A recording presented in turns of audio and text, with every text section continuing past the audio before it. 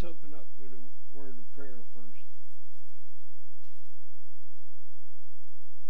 Heavenly Father, we thank you for all that you've done for us through your Son. And we just thank you for the word that we have in our hand that we can see the beginning and then in the end and what is for us and to us. And we thank all those that stand up here in the pulpit showing us different aspects of the Word. And we enjoy all the information that they give us, and we appreciate them for the diligent study that they do to present it to us. And we ask for those that couldn't be here for one reason or another to be with them today, and the ones that attend today, hopefully we can shed some light on your word. In the name of Jesus Christ. Amen. Good morning. Uh, we always hear Romans to Philemon. And Philemon is one book and it has 25 verses it has uh, I think it was 340 300 or 430 words. It's a short book. And why was a place where it was? All the books from Roman to Philemon, they're all laid out for a purpose, the way God intended to. And uh, we see that there's other short books. First John uh, has 13 verses. Third John has 14 verses, and Jude has 25. Now, you can, so, uh, somebody says, how was your day? You said, man, I wrote, I read four books of the Bible. Wow! you know, Philemon and the other th- uh, three. So you can make an impression on somebody. Uh, Philemon, uh, to me, is placed where it should be.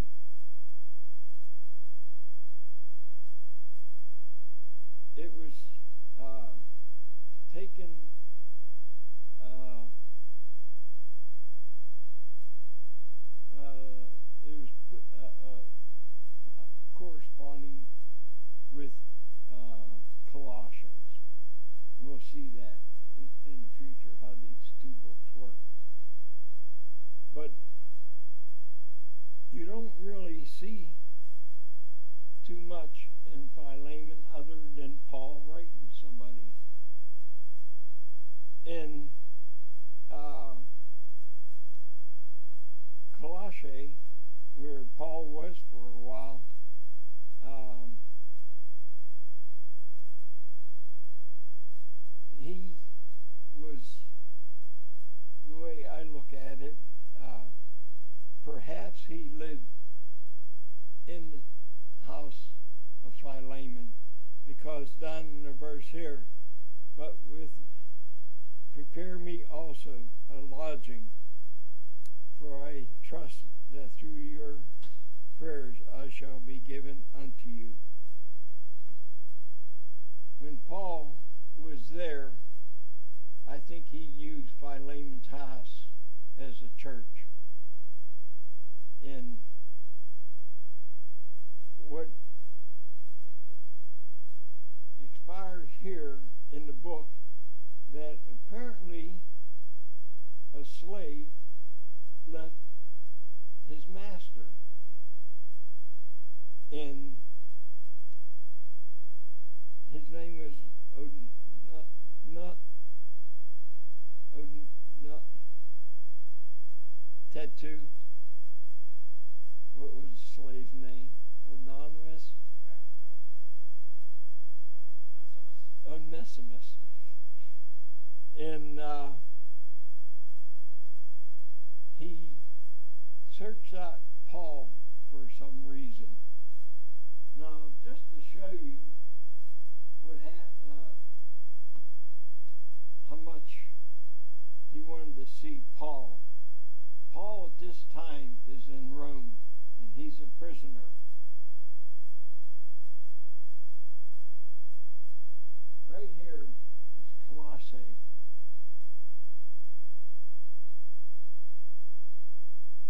I mean, this guy has some traveling to do, and he and he had a mission that he was going to do it.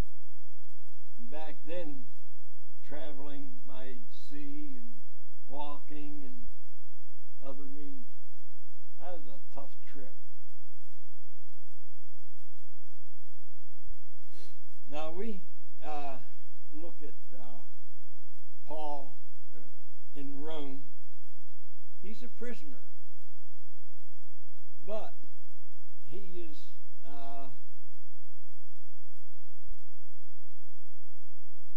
um, how, how today they said we release you, but you stay in your house. But Paul, when we read in Romans, he had visitors that come and go, and he was going to be released at one time. So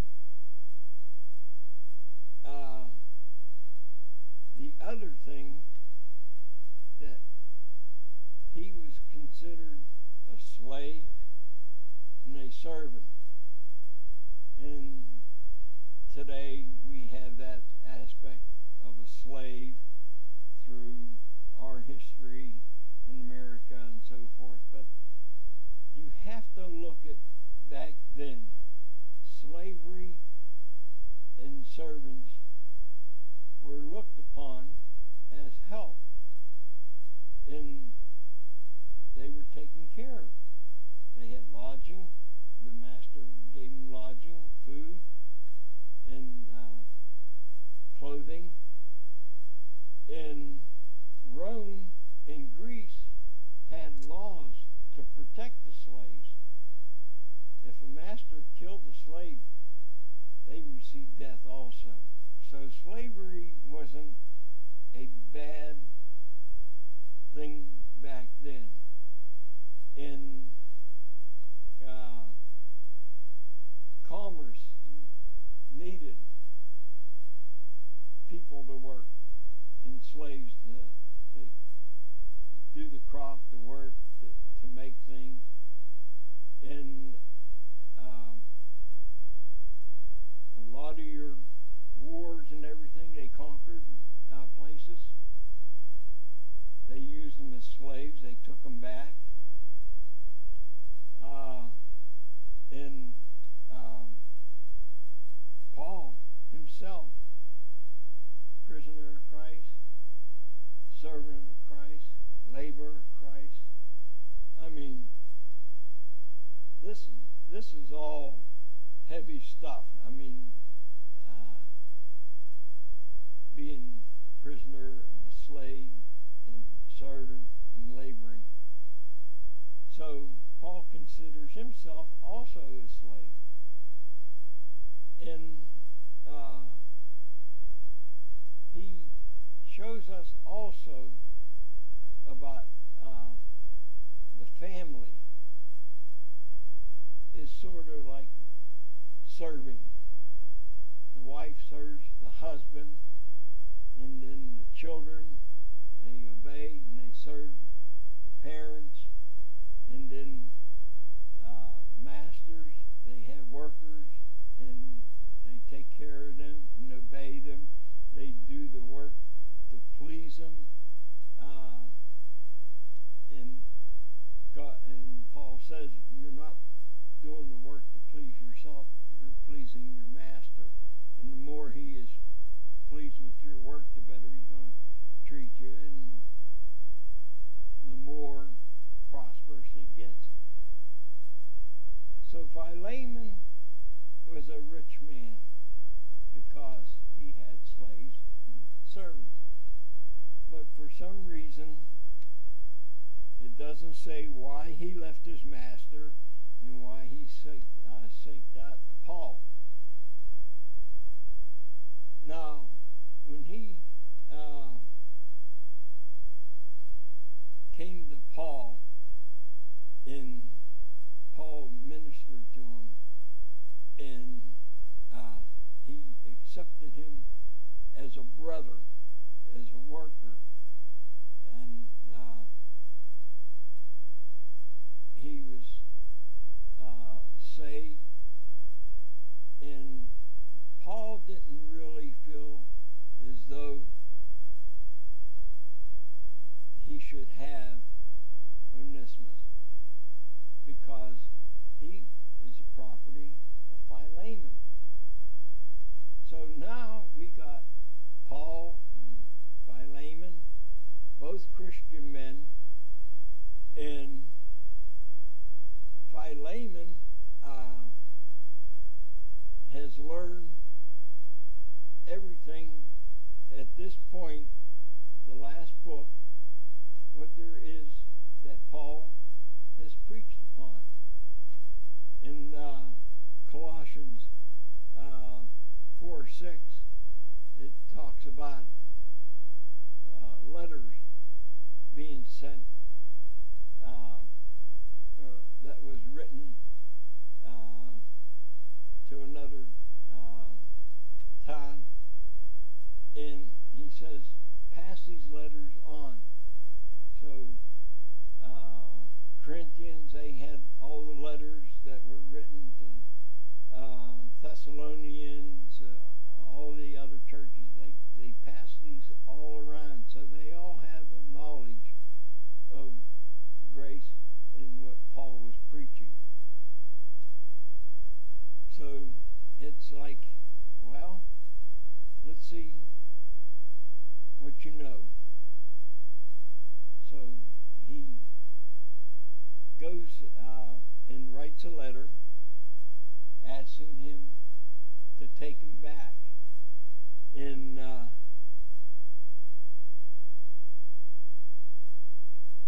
uh, let's let's read Philemon. It, it's only twenty five books. Paul, a prisoner of Jesus Christ, Timothy, our laborer, and unto Philemon, our dearly beloved fellow laborer. So there, that verse there shows that uh, Philemon has, when Paul left Colossians, and Philemon was just full of uh, the gospel that he preached. And apparently, when he left, he kept on preaching the, the gospel into our beloved Aphemus and Archimate, Archipelate, I can't say the word, our fellow into uh, fellow soldier into the church that in thy house. So it refers the house again. That's why I think it was Philemon's house, and and that's where the church uh, was. Grace unto you, peace from God our Father in the Lord Jesus Christ. I thank my God, making mention of thee always in my prayer. You see this time and time again after he leaves certain towns and areas that he keeps them in prayer. Can you imagine Paul's prayer list in Rome after all this is done? I mean, he's pretty busy man just in prayer all day. Hearing of thy love and faith which thou hast towards the Lord Jesus Christ and towards all the saints. As I as I read Philemon, it just seemed like every verse could be a sermon and, shows you uh, the the love that uh, Paul and Philemon has giving this gospel to people, and it says that, and towards all saints, all saints in Colossia.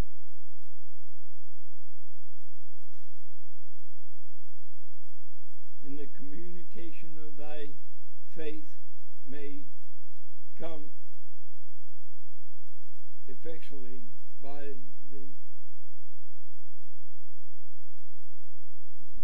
knowledging of every good thing which is in you in Jesus Christ. For we have great joy and consolation in thy love, because the bowels of the saints are refreshed by thee and brother. We look at that verse here and we put that application to us. We come here every Sunday and we hear the message since we were knee high to a grasshopper until they put us in a hole. And we never tired of it. it. It's a constant reminder of us how how we're to be, and it's refreshing. To me, I you might have heard me say before, it's like the week is a trip. I'm out of gas by Sunday, so I pulled into the station, fill up, then Monday I start over again. And therefore thou I might be much bold in Christ to enjoy thee that which is convent. Yet for the love's sake I'd rather beseech thee, being such one as Paul, the age. Paul's referring to himself as getting old, and now also the pastor of Jesus Christ, or, or prisoner of Jesus Christ, sorry. I beseech thee for my son Onesimus. Now we see Paul looks at him as a brother and a son of Christ, whom I have begotten in my bonds, which in time past to thee unprofitable, but now profitable to thee and to me. When he says unprofitable, this is where Onesimus leaves. We have no idea what went on. It doesn't say uh, he was disgruntled or whatever. Something happened. Whom I have sent again, thou therefore receive him. That is my own bowel. In other words, here he's saying, I'm sending him back to him, back to you. Receive him just like you received me when I was there. Whom I would have retained with me, that in the seat that he might have ministered unto me in, in the bonds of the gospel. Here in this verse, Onesimus is now uh, to the point where he understands the gospel. He was taught in school and shown how he's supposed to perform. And he's a different man now. Uh, remember the verse, you know, take off the old man, put on the new. I'm a new creature. Uh, I'm an, we're an ambassador of God. So this is Onesimus now. He, he is totally different. Whatever he did or whatever happened, it's gone, forgotten, and so forth. But without thy mind I would do nothing that benefit should not be as it were necessary will willingly. For perhaps he therefore departed for a season and thou shouldest receive him forever. Here he's saying that he left you. It doesn't say how long he been gone. He just said a season. And now that you receive him uh, receive him uh, for all time put everything aside. Now like i said paul and philemon they're two Christian people, and this is two Christian people working out a problem. And like I said, now's the time to show who you are and what you are and what you learn. And it shows us also that how we're to perform in life and how to treat other Christians. Not now as a servant, but above a servant, a brother beloved, especially to me, but how much more unto thee, both in the flesh and in the Lord.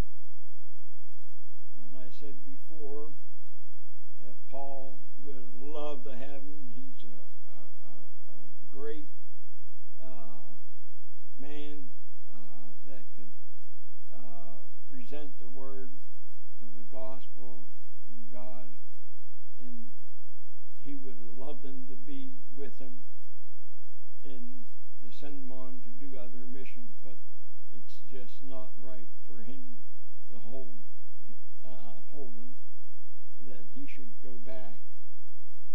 And now he's saying this guy's changed again, just like I said, a new man, and, accept him for what he is now, not for what he did do.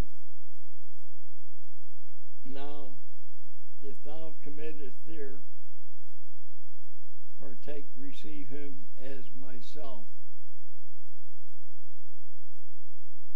Philemon accepted Paul and kept him in his house, fed him, and, and uh, uh, gave, uh, gave him place where he could present the gospel from. And uh, he wants him now to receive Onesimus the same way, not, not as a, a servant, but a worker in the Lord Jesus Christ. And if he has wronged thee or oweth thee aught, put that on my account. Who else did that?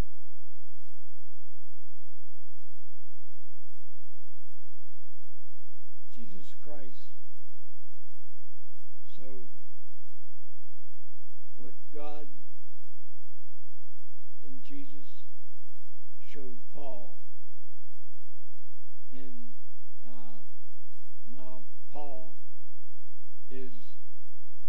putting that to himself. I, Paul, have written it with my own hand. I will repay it. But I do not say to thee, to thee how thou owest unto me even thy own self besides. Ye brother, let me have joy of thee in the Lord. Refresh my vow in the Lord. Have confidence in the obedience I wrote unto thee, knowing that thou wilt also do more than I say. Now, here Paul saying, I'm asking you to receive Onesimus because I've trained him and he's going to be a good worker for you in your house and for the Lord also. But you will probably do even more for him when he does come. Now, here is where I get the feeling that Paul stayed with Philemon during his time in Colossae, but with prepare me also a lodging. So Paul knows that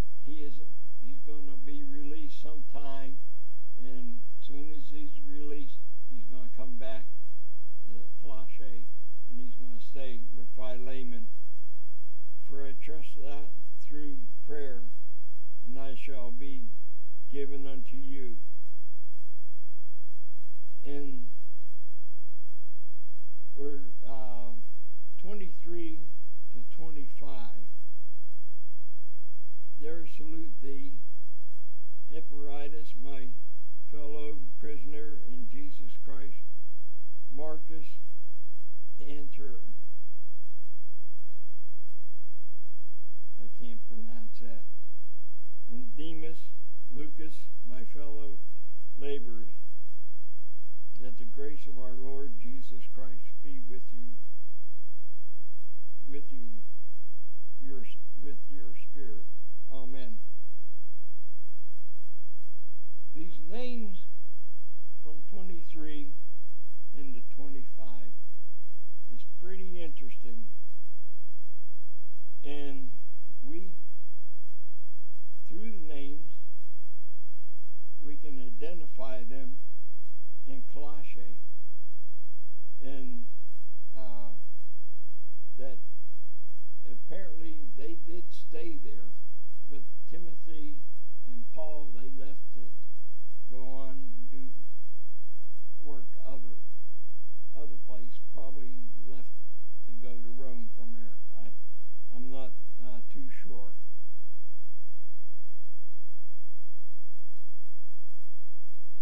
Epaphroditus is in Colossians 1 7 and 412.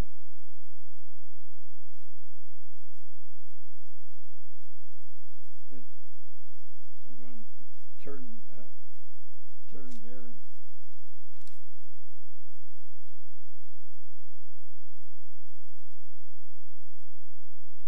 Colossians 1 7. As ye also learn, Epaphroditus, our dear fellow servant, who is for a faithful ministry of Christ. So here we see that he's a minister, minister uh, Paul's epistle to the people in Colossae in um, 412.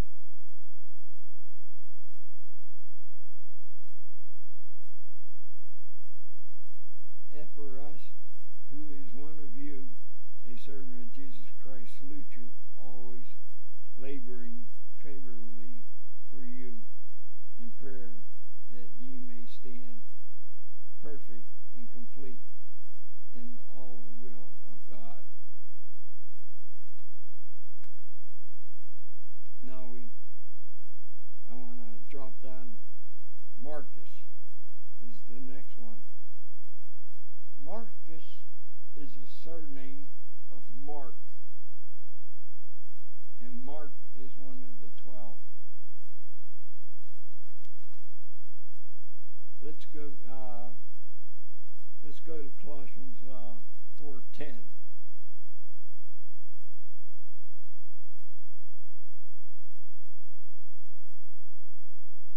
Archus, my fellow prisoner, salute you. I mean,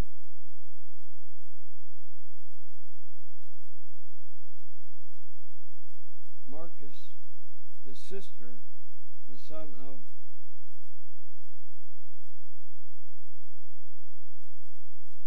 Barabbas, teaching whom ye received command, and he come unto you and receive him. But then again, he's mentioned again in Acts 15.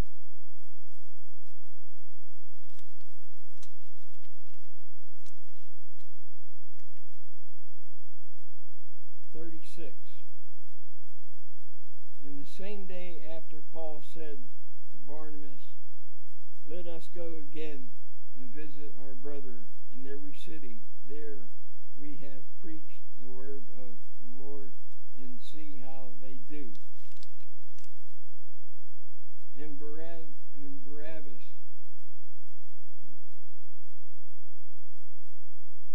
uh, says here that uh, we, we'll take John, whose surname was Mark. And then uh, 38, Paul. But Paul, thy not Paul, thou was not good to take him with them. So apparently, Mark isn't equipped in maybe the gospel yet or or whatever, but he he tells him uh, Paul tells him we're not going to take him. He's I kind of feel not ready. Now he, he uh, it's mentioned also in Pete five thirteen. Let's just drop down uh, to uh, the next name. Art. I can't say that. It. Uh, he is mentioned in Acts 19.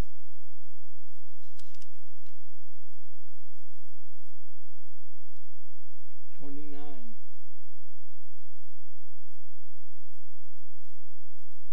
And the whole city was filled with confusion and having uh, caught Gaius and Art, his name again, in Macedonia. Uh, Acts 20. Uh, 20 and 4.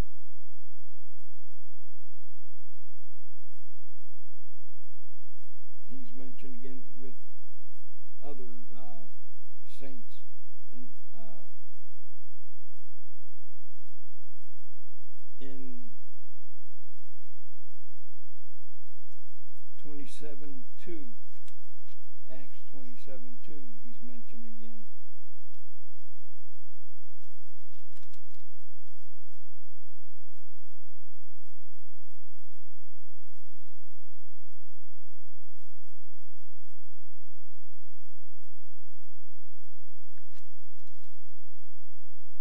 Uh, drop down to the next uh, name, Marcus. Colossians 4 414.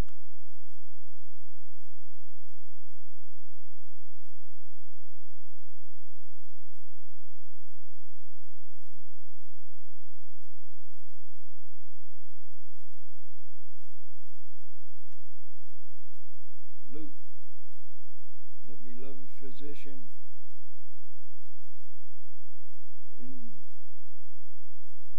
Demas greet you. But let's go to I want to show you something else here about Demas. Let's uh, go to Second Timothy uh, four ten. I thought that was kind of odd also that he was mentioned in 410 in Colossians and then 2 Timothy 410 also. For Demas hath forsaken me.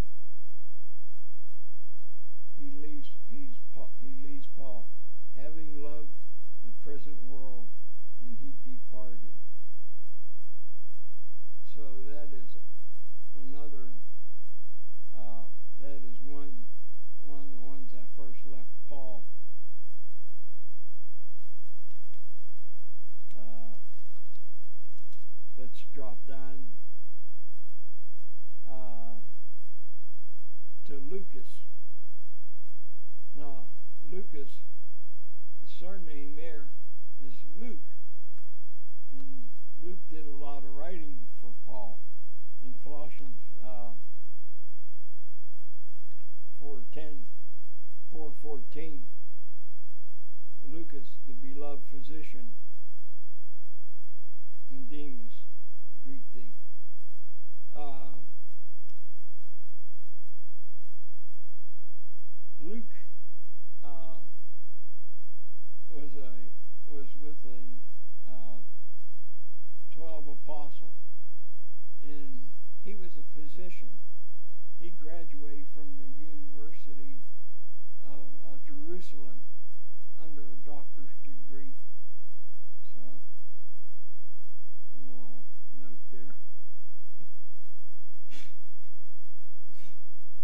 but uh, when we look at uh, the 12, uh, they were just common people, uh, fishermen, tax collectors.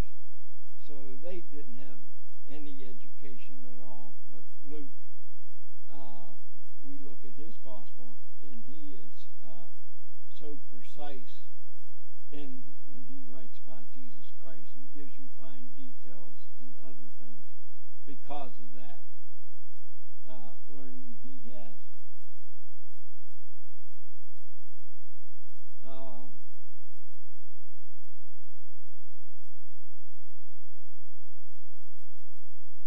now, now that we read those, uh, read the names, and most of them stayed in Colossia, and they uh, did the ministry there with uh, uh, Philemon. Uh, I I hope that I put some light on some of this and to try to show you that we also learn Roman to Philemon and now we have all this to us. Now it's up to us to put it into action. Um, it's I got a couple minutes here. I just wanted to uh, when I was in Colossians, I um, was reading through it and, and picking out these names, and it it just kind of showed me just the, in the beginning of Colossians when I read the first chapter. And I'd like to close by reading a portion of chapter 1 from 19 to 29.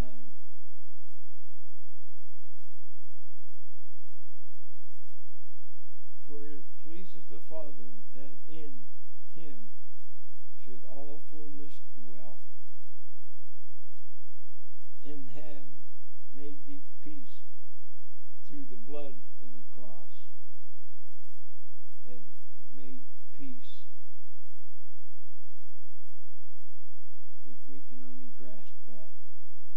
By him to reconcile all things unto himself. By him, Whether they be things in earth or things in heaven. Shows us here two parts Israel's program and our program. In you that were sometimes uh, alien and enemies in your mind by wicked works, ye now have ye reconciled. Boy, how powerful that verse is there. And in the body of his flesh through death to present you holy, unblameable, and unreprovable in his sight. If ye continue in the faith, grounded seated, and be not moved away from the hope of the gospel, which ye have heard, in which preached to every creature which is under heaven. Wherefore I, Paul, am made a minister who now receiveth in my suffering for you, fill up that which is behind of the affliction of Christ in my flesh. Paul, here, as we read through uh, the epistles, he was stoned, he was left dead, uh, he uh, traveled by foot. He he had a tough life, but he pursued because what God gave him the message, and he understood here. And at one time, uh, in one of the revelations uh, he had, he said, I, I was caught up and I see things that were unspeakable. Imagine what's waiting for us. He couldn't even talk about it. There's no words to describe what he's seen up here. My flesh for his body's sake, which is the church. Wherefore I am made the minister according to the dispensation of God. It was given to him by God, nobody else, which is given to me for you to fulfill the Word of God, even the mystery which had been hidden for ages, for generations, but now is made manifest to his saints. God had this secret, and he used Paul. And now we know God's secret,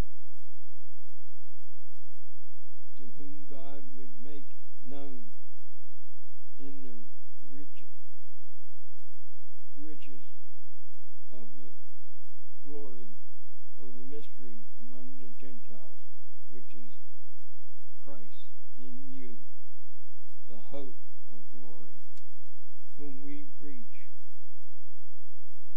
warning every man, warning every man, and teaching every man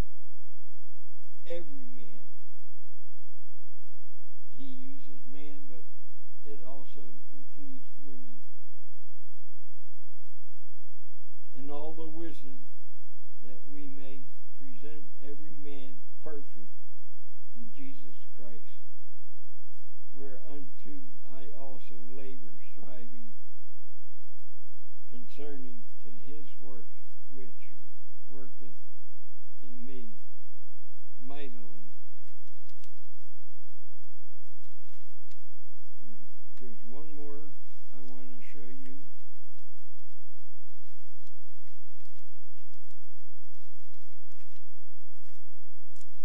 It's in Romans.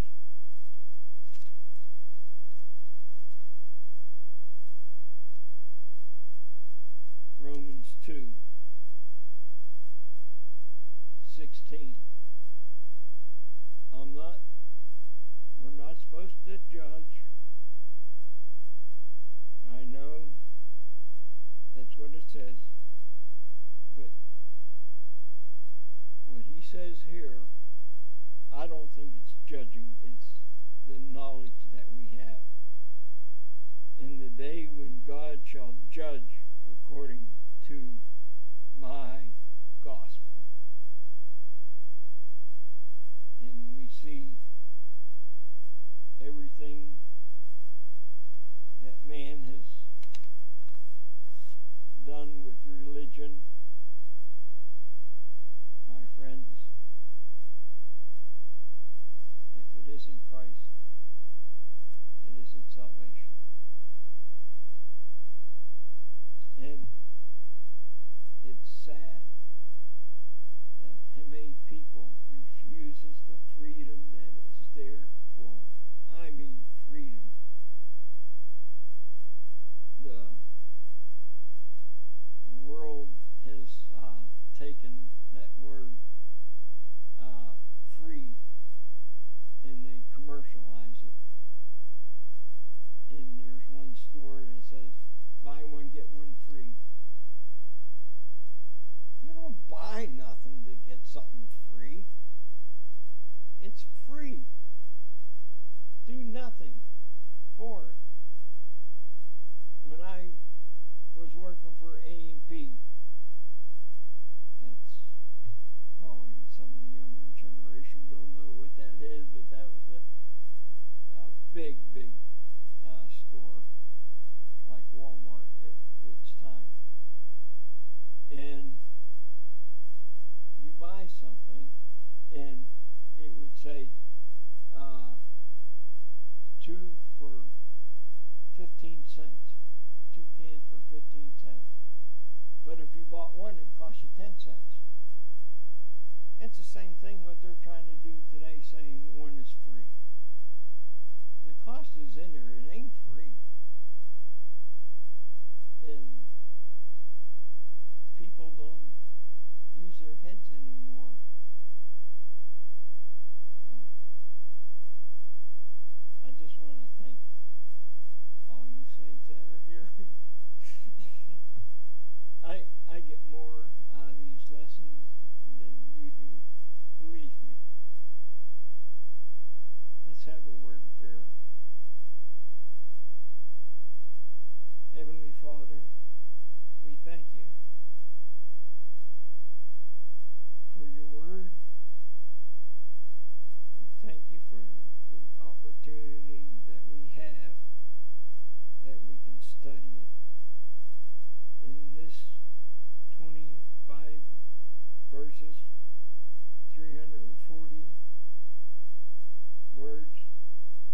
Each one of those verses is a sermon of its own and has such an impact on what your word will do for us and that we can do for others in the show. If they're willing, we just pray that we just keep on showing people how they can be saved. And if they grasp it, it's such a blessing. And if they refuse it, it is sad. In Jesus Christ's name, amen.